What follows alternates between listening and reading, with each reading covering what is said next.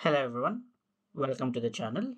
So today let's try to understand how to activate financial dimension from the front end. Without putting the environment onto hold, we have an option to activate financial dimension. So let's explore that.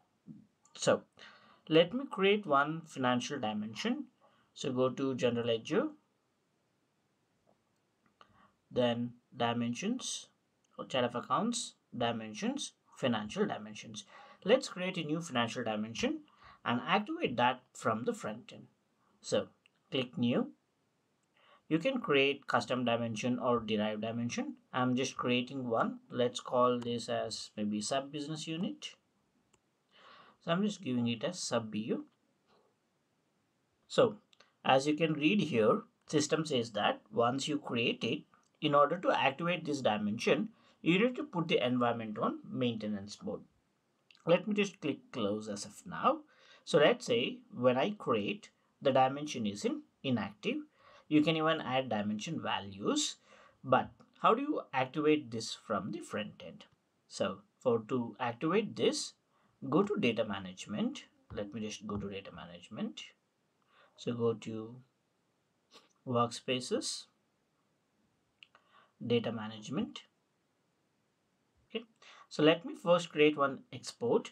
So there is an option in data management that is called as, or, or how do you do this is, we let me export and then let's re-import the same file which is related to activating the dimension. Once you do that, my dimension will be activated. So let's say DA test export, then click add entity.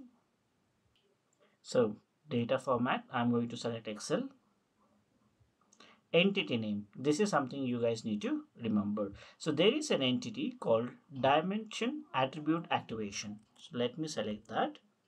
Dimension attribute apply. So here you can see there is a field called or an entity called dimension attribute activation. So this entity help us to activate financial dimension from the front end without putting the system on the maintenance mode. So let me just click export now. So once it's exported, you can download the file. Okay, so the file is downloaded. So if you want to see the downloaded file,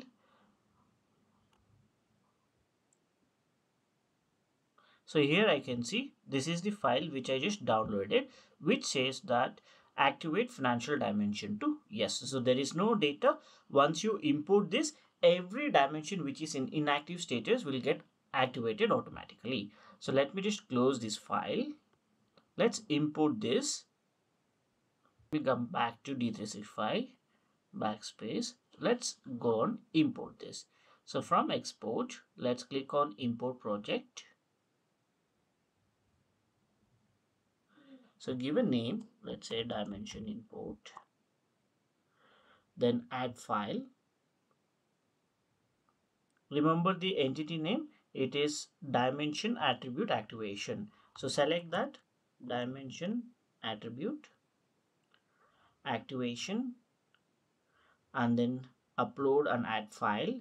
So upload the file which I just downloaded. So let me just go to downloads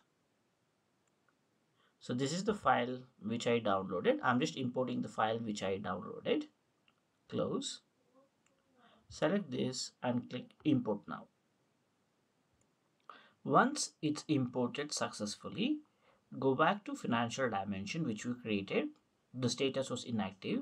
Just refresh this and you can see the status is active. This is how you can activate financial dimension from the front end using data management without putting the system on the maintenance mode. That's it for this video. Thanks everyone.